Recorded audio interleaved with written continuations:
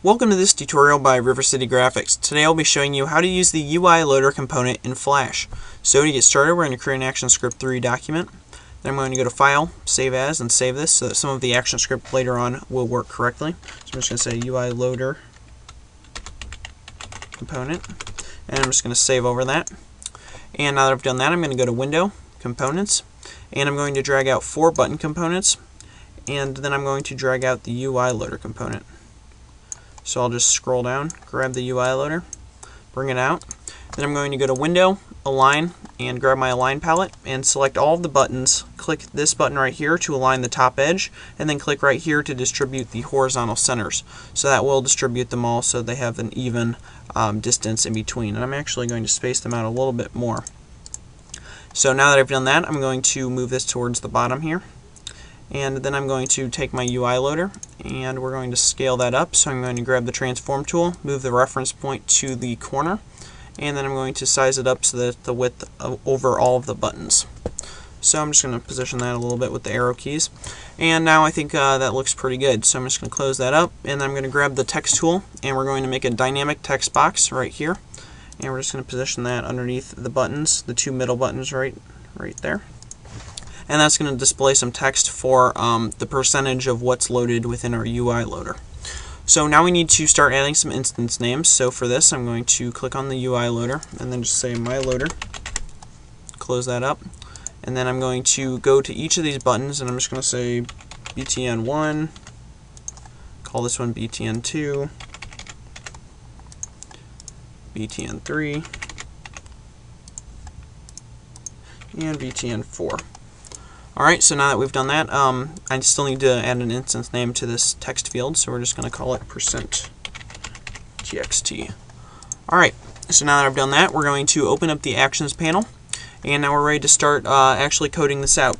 So the first thing we need to do is grab the, uh, the URL that's going to be loaded into this, um, this UI loader, and it's actually an image, so I'm going to make a variable for that. So I'm going to say var img URL for image URL colon, and then string with a capital S, space equals space, couple of quotes, and a semicolon.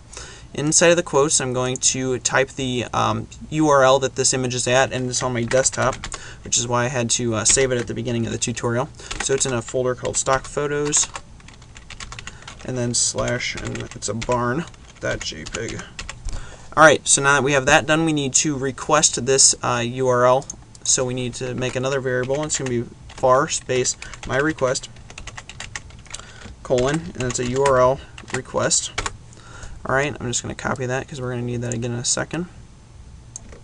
Alright, and then after that we need space equals space, new, space, and then URL request, and then open parenthesis, img URL, close parenthesis, semicolon. So basically we're just requesting the URL that's in this variable right here.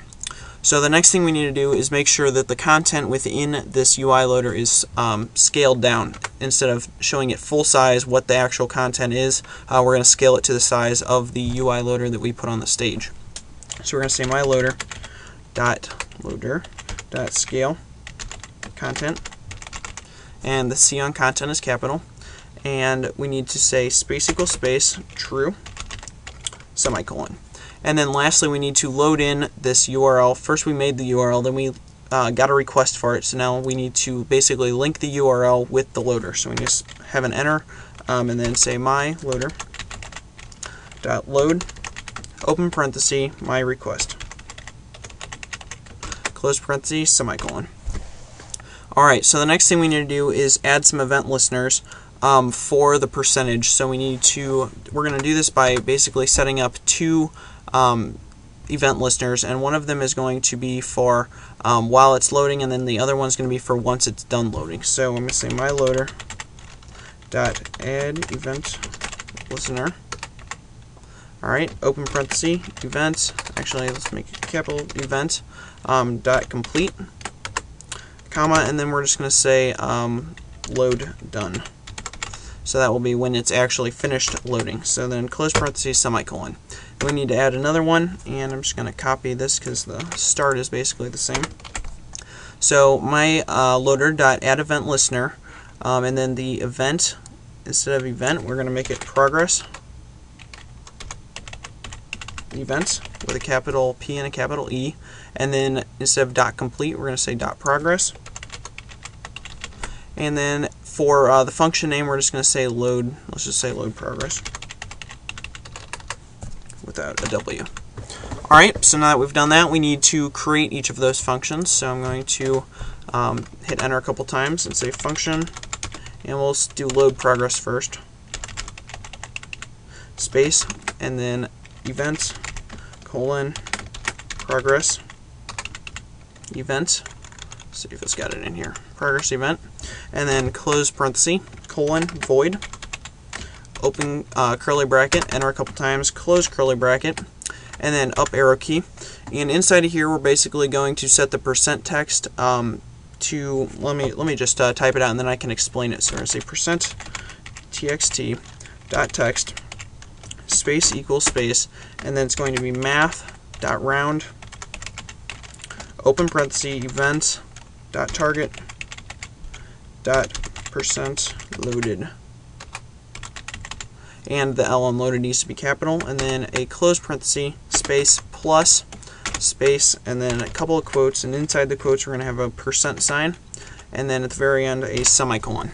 So basically what this is doing is it's, sending the, it's setting the percent text, which we set at the very bottom there, um, to the number, um, the percent loaded of what's in the UI loader. So we're getting um, event.target.percent loaded is getting um, the percentage that's loaded of uh, the UI loader of the image, and then it's rounding that with the math.round function, and then at the very end we're just adding on a percent sign.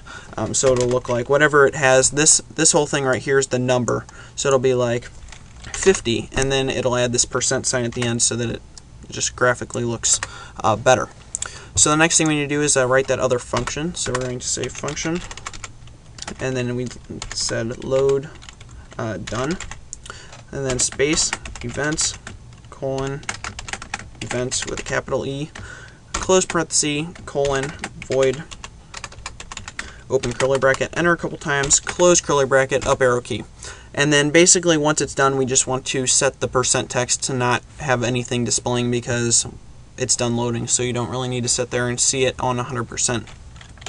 So we'll say percent txt uh, dot text space go space, couple of quotes, and a semicolon, so it'll basically be equal to nothing.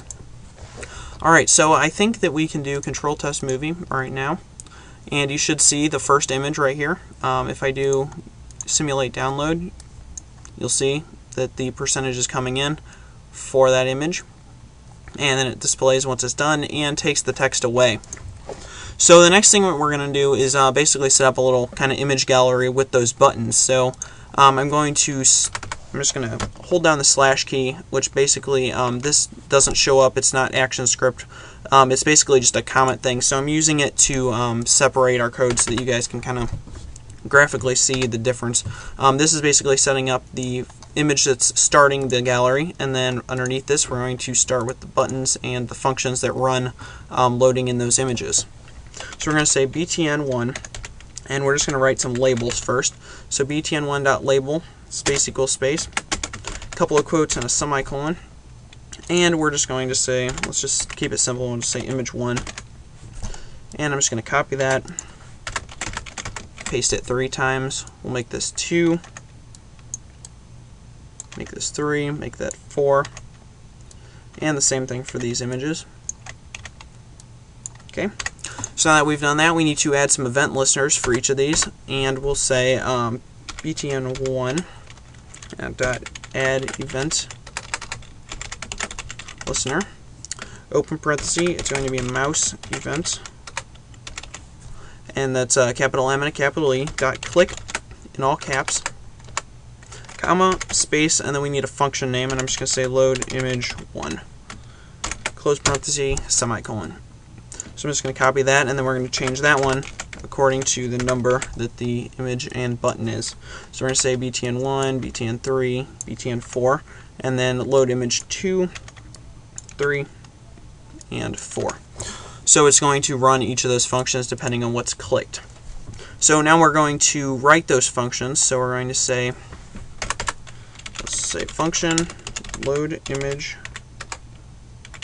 1 and then space, open parenthesis, event, colon, mouse, event, close parenthesis, and then a colon, and then a uh, void, open curly bracket, enter a couple times, close curly bracket. And then inside of this, um, we're going to load in basically everything that we have up here. So um, I made this this divider here so that it would be really easy to just go back up and copy all of that. So basically when they click the button, we want it to say, I don't care what that image was before, we're loading in a new image into this UI loader. Um, so it's going to, instead of having all this, it's going to put in whatever other image we um, do. So actually, let me. So I'm just going to paste this in, paste this in here, and the only thing that we need to change is this um, variable right here, this image URL string right here. Um, we're going to change the image. Um, on this one we don't need to because we want that first image to be the same as the image that initially loads. But for the next one we're going to change it. So I'm going to basically just copy this function let me, uh, let me scroll this up so that I can grab the whole thing. We're going to copy this function, and I'm just going to hit enter a couple times so that you can see the difference. And then we need to change this to load image 2, and then we want this to load the second image, um, which is going to be butterfly. It's the other image I have. And then we're going to hit enter a couple times more, paste it again, and then for that image, we're going to be, it's going to be bridge. And then I'm going to hit enter a couple more times. And we're going to paste the last image in there, and it's going to be coast. Alright, so I hope you guys followed that. Um, basically, um, oh, I forgot I need to change this. I have load image 2 is the function. We need load image 3 and load image 4. Alright, so just to recap, basically we are creating four functions so that whenever a button is clicked, it's going to run that function and it's going to load in a new image into the UI loader and it's going to run the percentage and everything um, just like it did for the initial image. Um, so I think we're ready to test this now, so we're going to go to Control Test Movie. Alright, you can see our initial image loaded in. We'll click on image 2 and it loads those in. And it's not doing the percentage because I haven't done simulate download. I just wanted to show you how the images work. Um, if you do simulate download it's going to start with the first image. Should be the barn. Alright when you click on another one it'll load that in. And the benefit of using the UI loader over um, other methods is sometimes with other methods you might load in an entire flash file rather than loading in pieces and this might be fine if your flash file is small, but if you're doing something like a website, most users aren't going to look at an entire website and they might find it kind of offensive to sit there and wait for your entire website to load before they can use it. So using UI loaders, you basically load what they want to see. So they're going to see a piece of the website, so it'll load once they get to what they want to see and it'll load much quicker. Um, so it's a much better way to uh, load uh, items within Flash. So as you can see I can go through these and they'll load in. Um, once it's loaded it's going to keep doing it to up to 100%. It's not going to be quick because I keep simulating the download every time but once um, it's on the web it would it would load very quickly. Um, so I hope you guys learned something about the UI loader and learned how to use the percentage on it um, and, and learned how to um, load at runtime rather than loading an entire thing beforehand. Um, so don't forget to subscribe, rate, and comment, and I'll have the last tutorial in our component uh, series tomorrow, so check back for that. Thanks for watching.